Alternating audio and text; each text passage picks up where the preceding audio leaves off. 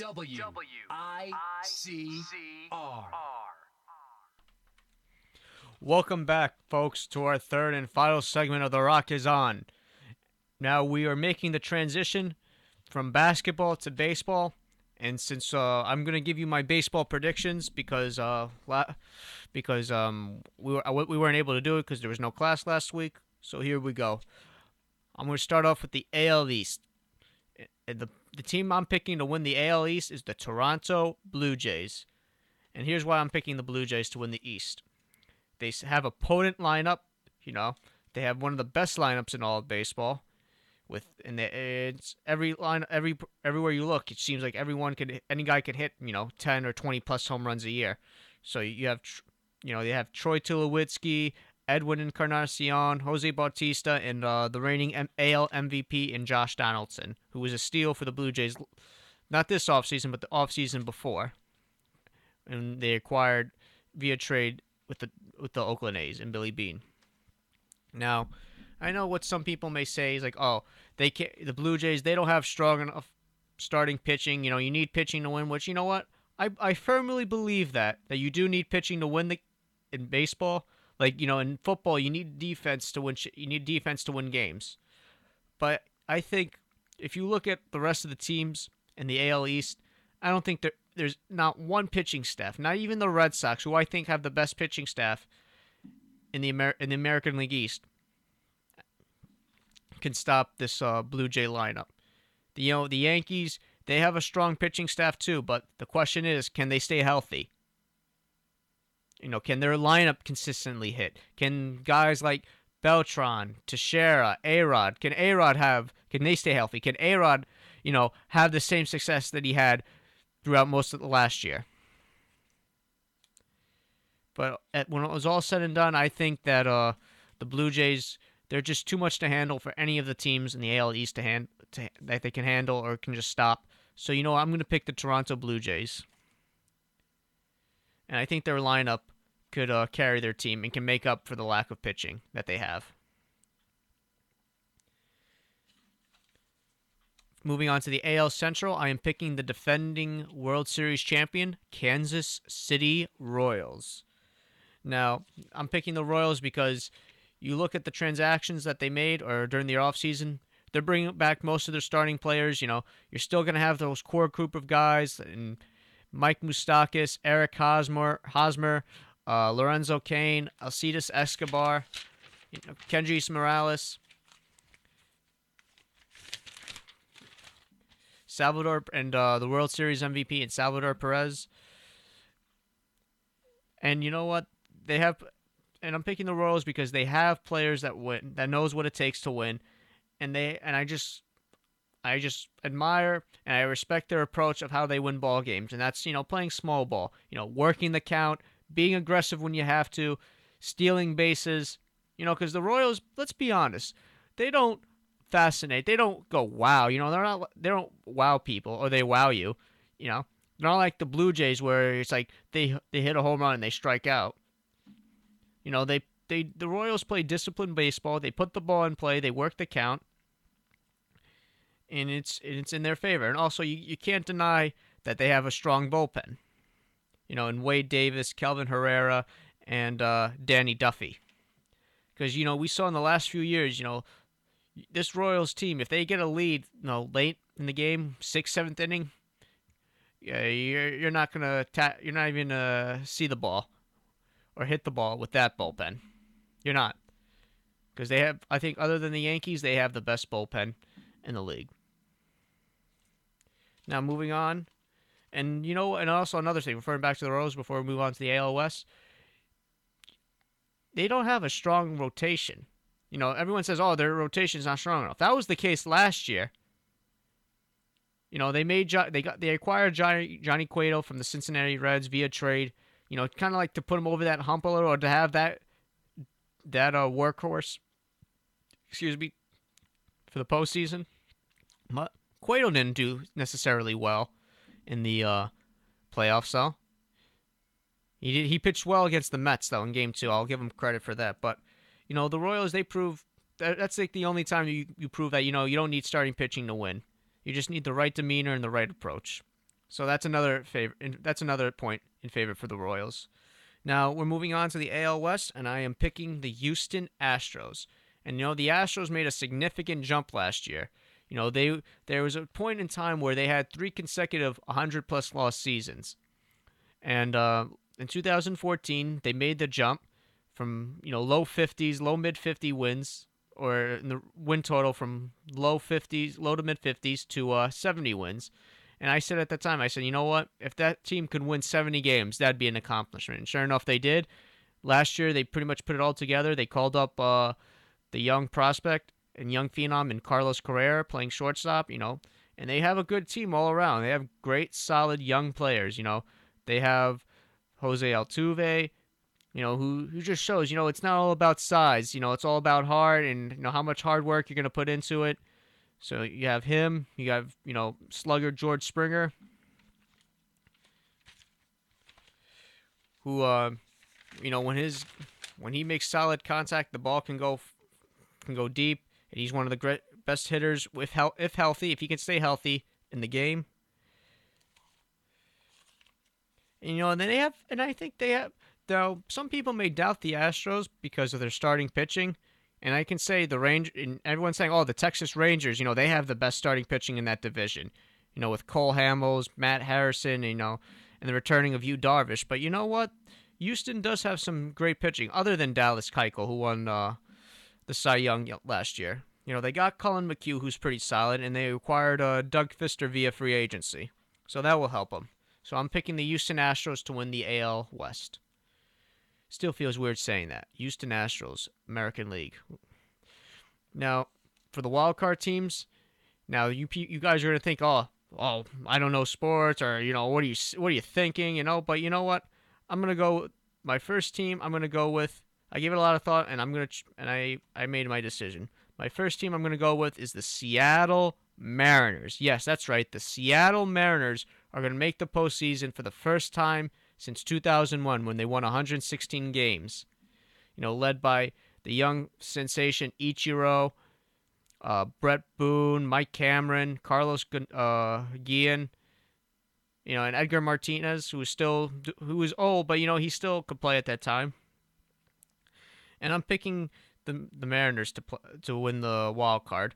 Here's why: because I think they improved their defense. Their their flaw last year was they didn't have enough guys or enough depth in the outfield and I think they didn't have enough guys that can play well defensively in the outfield, and I think they proved in that area. You know, they acquired Leonys Martin from the Texas Rangers, and they acquire Nori Aoki, and uh, from the Giants because he was on a one-year deal. So those both those guys can cover a lot of ground and are just great defenders. So I think that will help help them in the long run. And uh, they just have a great middle of the order of the lineup. You know, they have one of the best three hitters. They have three phenomenal hitters in that lineup.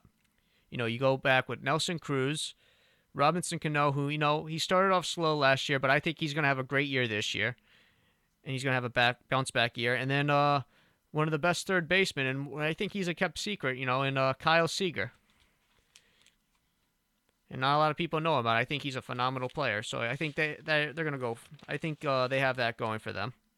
But the question is, can their lineup stay consistently hit?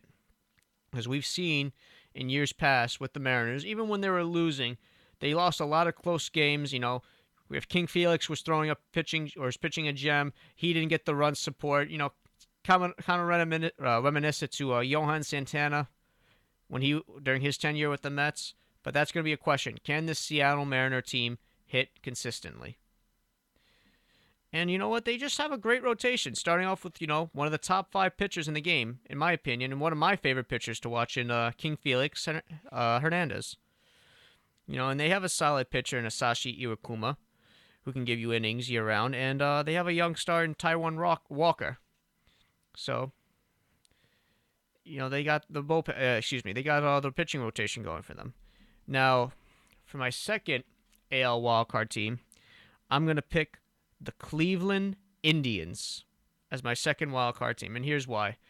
Because I think, other than the exception of the Mets, they have the best starting pitching in baseball. Second to the Mets. Best in the American League, I say.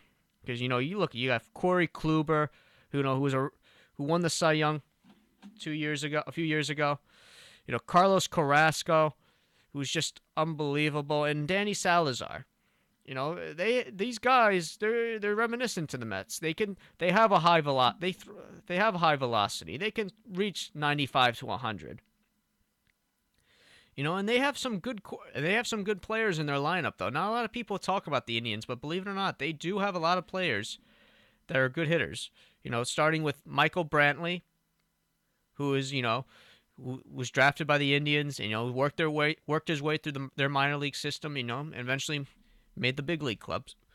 You know, switch hitting Carlos Santana, who's primarily the DH, but he can play catcher, he can play first, along with uh second baseman All Star Jason Kipnis, who you know battled some injuries here and there, but when healthy, he's a sensational player.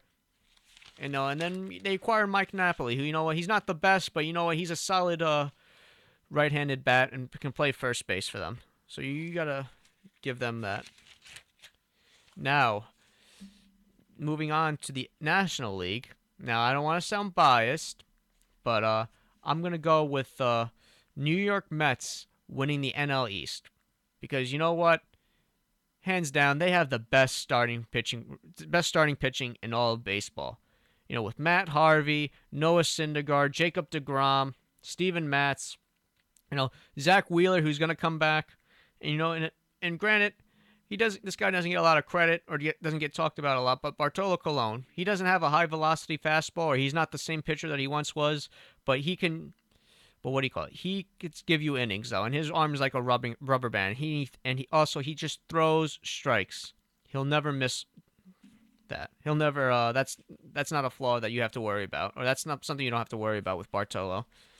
You know, and they have, and you know, going to their lineup, you know, they have Conforto for a full year because he came up late in, I believe it was late June. We you know they couldn't hit the side of a barn, and they just struggled mightily offensively. You know, and uh, they improved their defense up the middle, which was a flaw for them. You know, they made the they made the accusations accusations for Asdrubal Cabrera and uh, Wilmer uh, Wilmer Flores, uh, Neil Walker. You know, and that's such a huge upgrade from Daniel Murphy and uh, Ruben Tejada. You know, because granted Murphy could hit, but he was just a sloppy defender, and uh, I think the Mets improved in that aspect. But most of all, the big uh, the big uh, chip that they got was uh, or what was huge for them was bringing back Yoenis Cespedes because we saw what he did at the end of last year or when the Mets acquired him at the trade deadline from the Detroit Tigers. How how such a how such how a major contributor he is to the team and how he just changes that whole lineup. You know, they pitchers can walk Cespedes to face Duda and Duda comes through or Wright or even Granderson or anybody. Anyone batting in the middle of that order. Cespedes makes a big deal for the Mets, and I think he was the key reason why they went to uh, the they made the postseason. They went to the World Series. Now for the NL Central, I'm picking the Chicago Cubs. You know what? I just I like I love the Cubs uh, accusations that they made because they improved their team so much. You know they they acquired one of the biggest free agents or second best outfielder in my opinion via free agency in uh, Jason Heyward gave him a lucrative contract, eight year, 156 $156 million deal.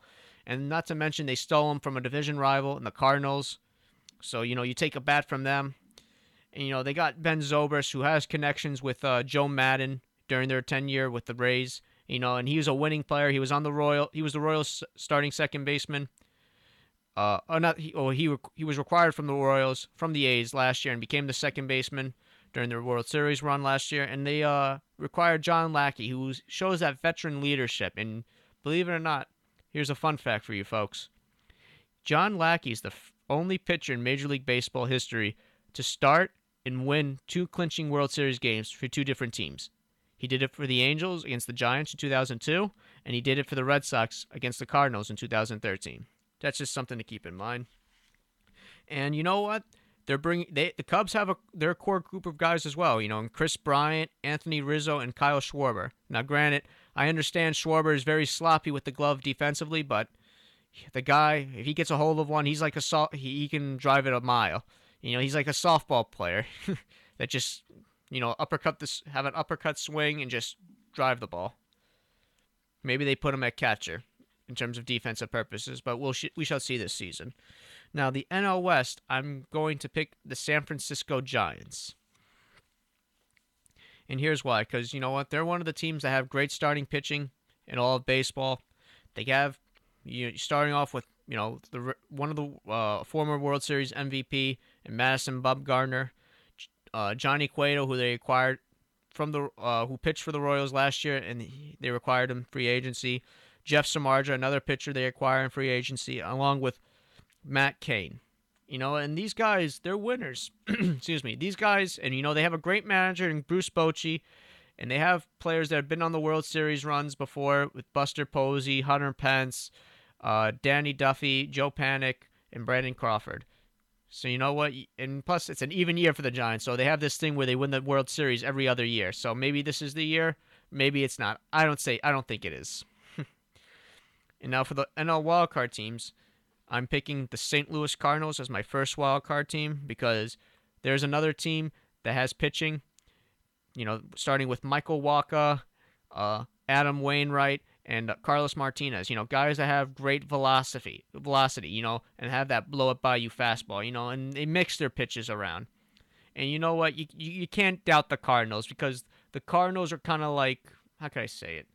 They're kind of like the Patriots of baseball you know they make they're gonna be they're gonna be in it every year. They're gonna make the playoffs. They're gonna be entitled to win a World Series every year. You know, kind of similar to how the Yankees were back in the '90s. You know, but man, man, have times changed since then. But you know what, the Cardinals, you, couldn't, you can't doubt the Cardinals though. So you know, I'm picking them as their first wild card team. And not to mention, you know, and they also the Cardinals are known to have that they have they're known to having that next man up uh, next man step up mentality or next man up mentality because we've seen you know their key guys like Matt Adams, Yadier Molina, and um, Jhonny Peralta. You know these guys are getting hurt, but you know what?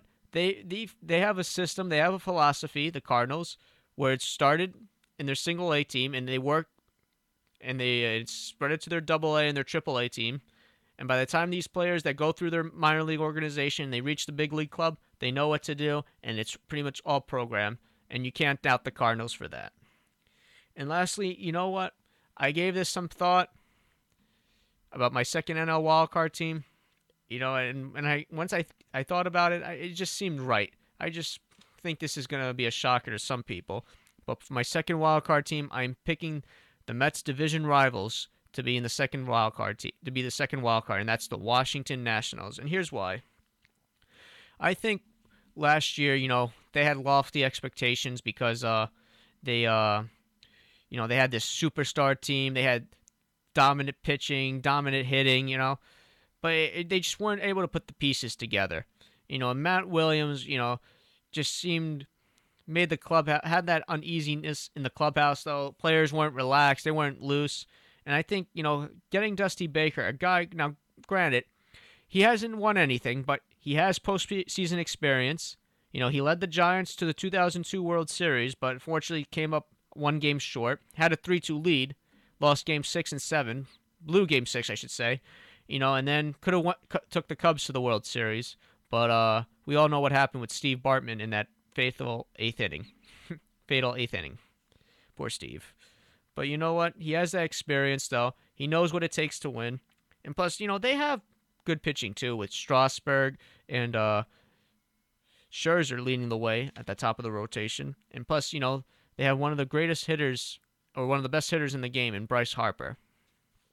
So you can't, and along with Jayson Werth and whatnot. And you can't do that. And you can't da- doubt him for that. Now, the moment we all been waiting for our World Series prediction. Now, the world. Now, I, some people may think this is another biased thing, but you know what? I firmly believe that this team is going to win the World Series, and that it, team is going to be the New York Mets over the. excuse me. It's going to be the New York Mets over the Toronto Blue Jays for the 2016 World Series, and here's why. I think, you know, both these teams last year went deep in the playoffs. You know, Blue Jays came up short. They played a tight they played a tight close series with the the Royals but came empty-handed.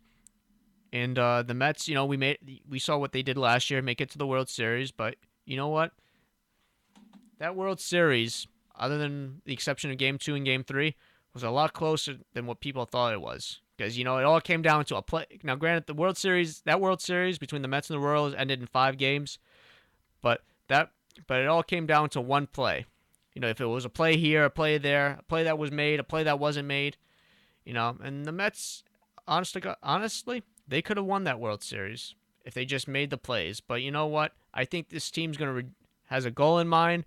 They have they can they're gonna live up to the expectations and they're gonna dominate. And I think they have I think they're the best team in the National League and one of the best teams in all of baseball. Just their only Achilles heel is the bullpen because the Mets are going to be in a lot of close games. All right, it's all a matter of can the bullpen bring them home? Can the bullpen shut the door and not give the opposition a chance to get back in the game or even win the game?